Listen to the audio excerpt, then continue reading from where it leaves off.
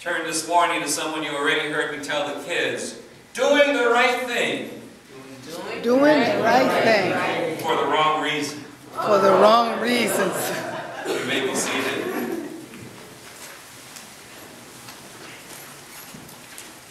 Maybe, maybe I should have had you say doing the right thing for the right reason, right? That would be even better. All right, I stand corrected.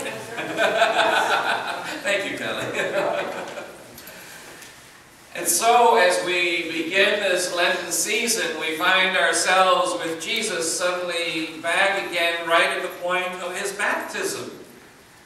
And that's an important point for us to be at because uh, we remember what happened at his baptism. It was repeated just last Sunday, uh, the Sunday of the Transfiguration, when we heard the same thing. Uh, the voice that came, God speaking, said, This is my Son, the Beloved, with whom I am well pleased.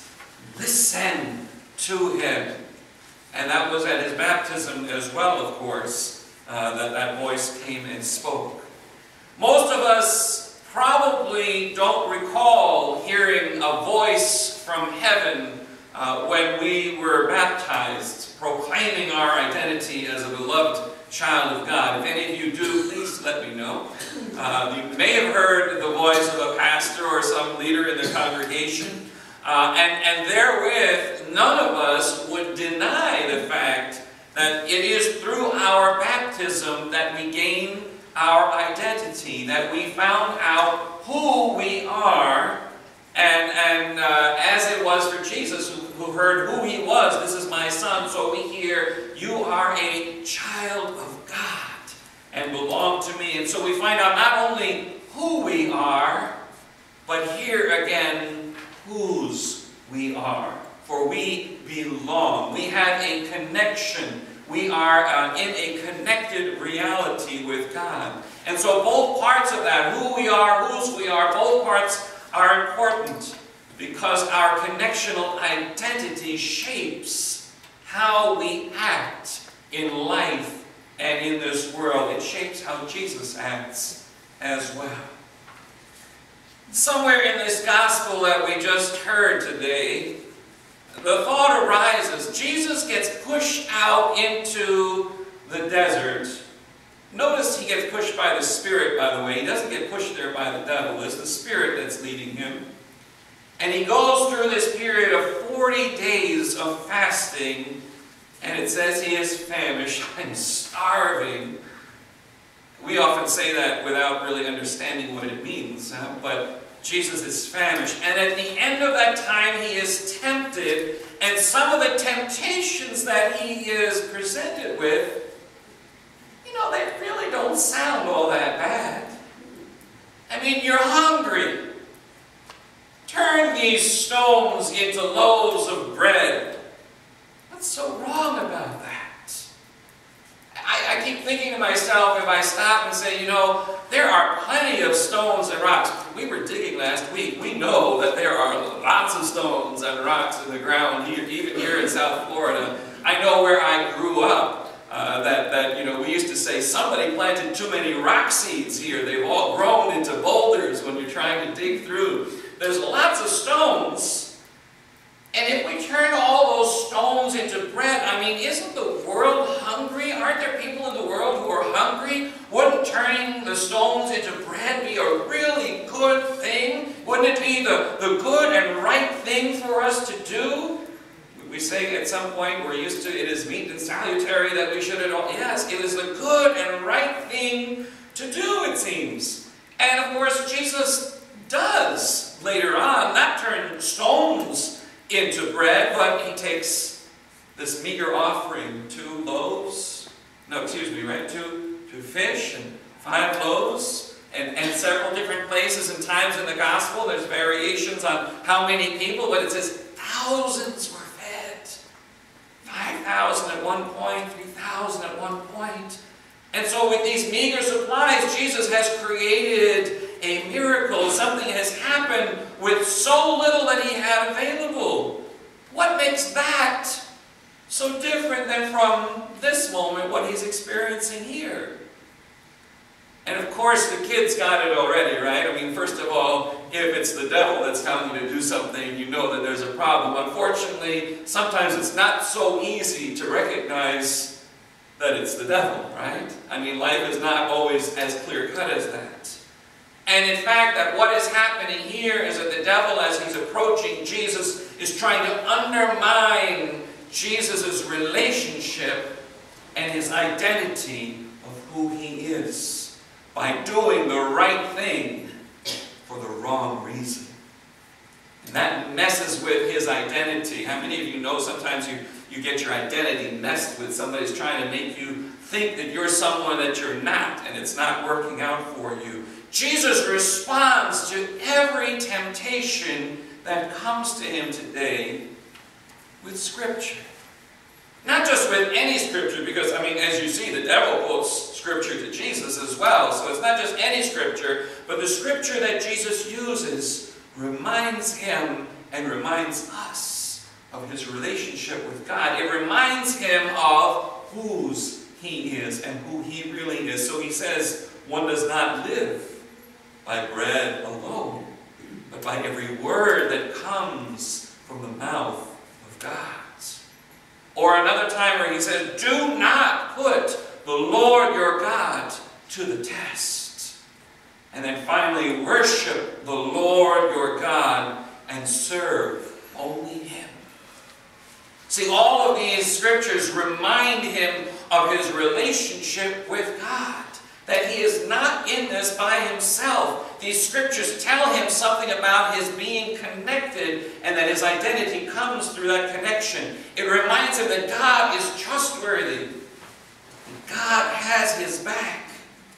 That he is not alone in this venture. And isn't that what the temptation is really about?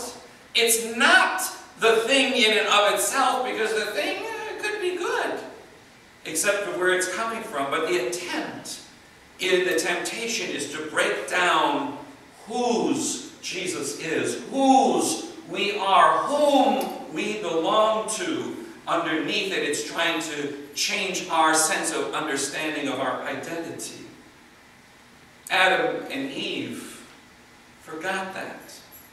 And so the devil, the serpent, came and was successful in undermining their relationship with God to the point where they no longer trusted themselves even to be open and free in God's presence. And isn't that really what temptation is?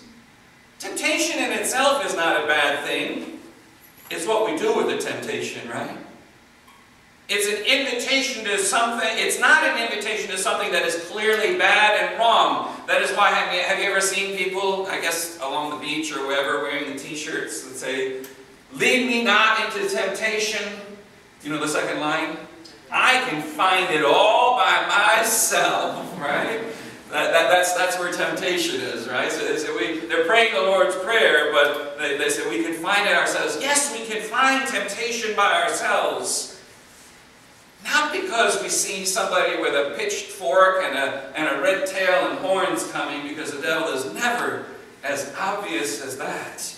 But because temptation comes that undermines us, it comes quietly, in a subtle way, and tries to undermine who we are and make us forget whom we truly belong to.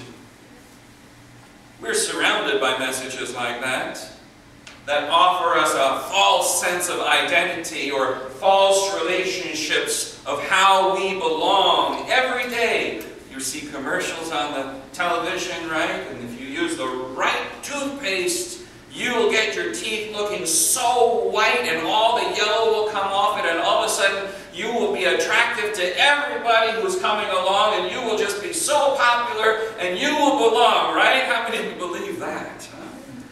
Or that, um, that shampoo that just makes your hair just, just you know, just right, huh? uh, so that people will see you and be uh, attracted to you. Or driving that car that makes you just the thing, right? I mean, you just have the right car that suits your image. And in fact, you can now get a car that, that not only can you use to take your kids to school, but then afterwards you can drive around it's like a sports car. Right? I mean, it's all out there. And it's all slogans and the advertisements that are there uh, in the political world. The same thing happens. Even though we know that God provides us with enough of everything for everyone. And that when people are left without, it's not because God hasn't provided, but because our systems of distribution have been inequitable and we haven't uh, allowed for everyone to receive. So some have an overabundance, and some have scarcity. And that's something we have to be aware of. One of the slogans, if you will, that I have uh, a great distaste for.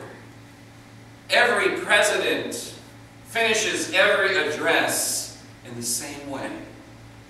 May God bless the United States of America. That sounds like a good thing, right? But did God only create the US of A? Didn't God also create every continent, every culture, every people?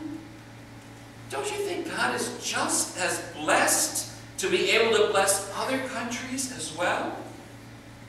And I think sometimes we sell our true identity as children of God who have brothers and sisters around the world for an identity that allows us to think we're only limited to being in a great, great country.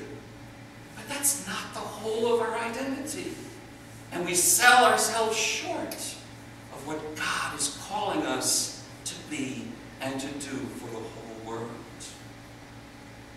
Remember this. When the devil took Jesus up to the highest place and told him he could be ruler of it all, Jesus saw through the lie. When the devil told him to throw himself off of the pinnacle at the highest point of the temple, the, the steeple at its highest place, Jesus resisted. But notice he did not resist when God called him to allow himself to be yanked up onto a cross and to be nailed onto that cross and to be saying, I died, he died for all. That is what we are called to.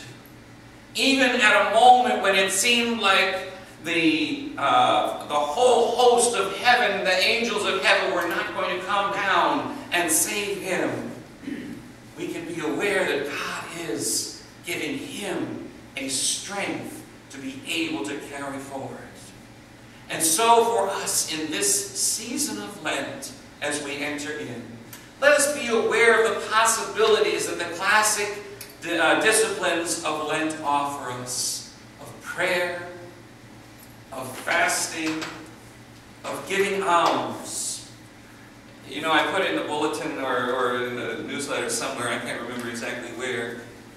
You know, sometimes we say we're going to give up coffee or chocolate. I met somebody this week who said to me they gave up coffee one year, they drank tea, and it wasn't a good thing.